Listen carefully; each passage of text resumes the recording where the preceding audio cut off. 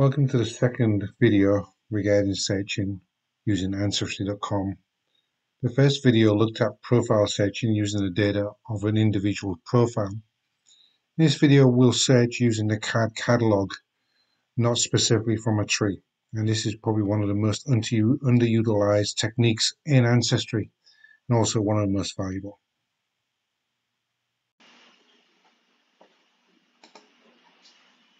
Another search technique for Ancestry, and one that is not used often enough, is to search the card catalog. And this allows me to be very specific in which datasets and databases I'm looking at. So from pretty much anywhere in Ancestry, I go to search card catalog. And this brings me to a very simple screen. On the top and left hand side there are two search bars, one for title and one for keywords. And then our normal filters that we see in most search screens by record type, by record location, and by record dates. If I know the title, I can type in part of all the title into the title bar and find a specific database. But what if I'm looking for a type of record?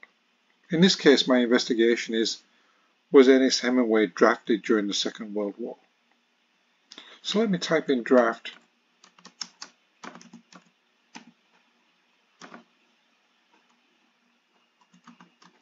registration into the keyword and do a search.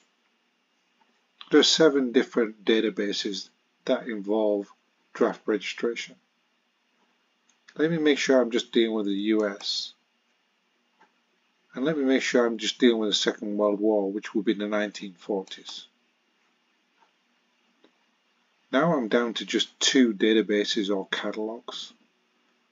One says draft registration cards 1942 and the other one is draft cards young Men 1940 to 1947. And something we should always do in Ancestry when we're looking at any kind of catalogue or database is read what the description is. So let me go into this first one. Both records contain a million records. And this says a database is an indexed collection of draft cards, fourth registration, often referred to as the old man registration. That's not enough information, so let me click on the actual catalog and read the description below the search bars. Now this gives me a lot of information, what's on the record, which states are involved, but crucially it tells me that this is for men born between 1877 and 1897. I do know that Ernest Hemingway was born in 1899. So this record set probably does not contain any information about Ernest. So let me go back and look at the other database. And perhaps we can read down here. And there doesn't seem to be any specific limitations other than the age. This would cover Ernest, give some information, and there doesn't seem to be any states precluded from this data set. So I think this is pretty pretty good to go on a search. So let me search for Ernest. And as we see, as in many search, as I type the person's name, Ancestry suggests somebody from my tree. So let me go ahead and let Ancestry type in the data for me.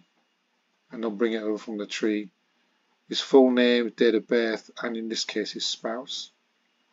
That all looks good. Let me do a search. Well, there's only five records that meet the search criteria in my search bar over here. And luckily I know the exact birth date of Ernest Hemingway and where he's born. So this has to be the top record, has to be Ernest. So let me click on the image to see what information it contains. And here we get Ernest's draft registration card. Um, we can see his mailing address was in San Francisco. Paula in Cuba. So he was actually living in Cuba at this time, I would guess. And his contact person was Mrs. George Gellhorn in St. Louis. And he's currently an unemployed writer. So this will allow me to do a lot more searching based on this information. I can see if there's any information about Cuba in Havana giving the exact information of his mailing address, or who Mrs. George Gellhorn or George Gellhorn, her husband, will be. So that's a very quick way of finding information. Let me do a search on a location I expect Ernest Hemingway to be in. So rather than clear this out, I'll just go back to card catalog again. It'll take me back to the beginning. And Key, Key West was a favorite place of Ernest Hemingway, so let me type in Key West here and see what we can come up with. And again, not many records, but let me limit this anyway to, to the USA. And we know we're interested in Florida, so let me interest, reduce this to Florida. No need to look at the dates. There's only seven records. And as I as I highlight each one, you'll see a little bit about each one of these databases popping up.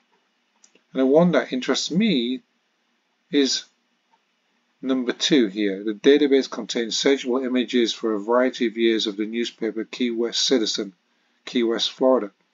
So this might have information about Ernest Hemingway in it. So let me click on that. Well, luckily for me, this seems to have been indexed. So I can type in again here, Ernest Hemingway. Again, help Ancestry helps me fill this in. Let me do a search on Ernest Hemingway. And there's a number of results, 59 results. And it looks like these are all types of newspaper cutting. So let me just type a random one to pull up the record.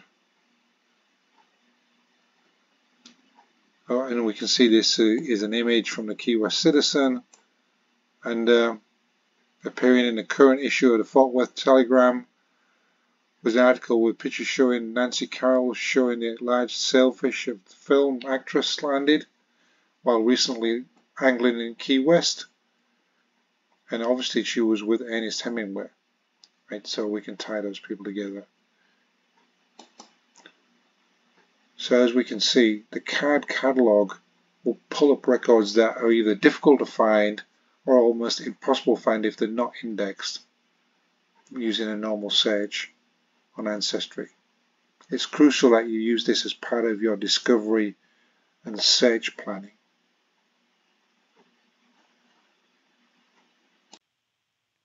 I hope this video has encouraged you to make more use of the card catalog in your searching on Ancestry.